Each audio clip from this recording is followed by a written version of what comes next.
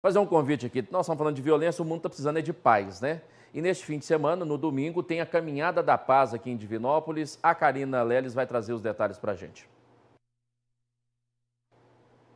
As ações a caminhada faz parte das ações da Campanha da Fraternidade 2024 da Diocese de Divinópolis. Eu converso agora com o Padre Luiz Fernando, que tem mais informações para gente. Padre, quem pode participar dessa caminhada? Todos aqueles que quiserem participar estão convidados para esta campanha, que é fruto de um dos exercícios de uma das propostas da nossa campanha da fraternidade deste ano, que versa sobre a amizade social, com o lema Vós todos sois irmãos e irmãs.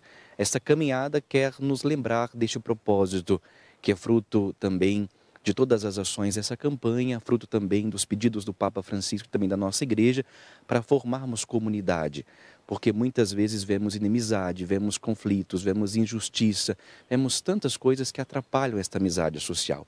Por isso, todos aqueles que desejarem participar estão convidados no próximo domingo, dia 18 de fevereiro, de 8 horas, saindo da igreja de, Nossa, de São Francisco de Assis até a igreja de Nossa Senhora da Paz próximo domingo, 18 de fevereiro, saindo da igreja de São Francisco de Assis até a igreja de Nossa Senhora da Paz, onde acontecerá então a Santa Missa com todos aqueles que participarem desta caminhada. É necessário fazer alguma inscrição antecipada? Tem algum custo? Nenhum custo, nenhuma inscrição. É muito importante que os fiéis, católicos, cristãos venham fazer esta caminhada para mostrarmos essa fraternidade, esse compromisso nosso com esta campanha e também com a relação fraterna e precisa existir em todos aqueles que fazem parte da mesma fé, todos aqueles que querem participar de uma mesma comunidade e assim seguirmos os ensinamentos de Jesus Cristo.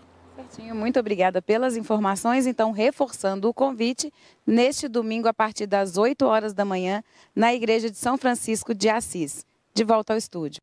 Obrigado, Karina Ledes, pelas informações.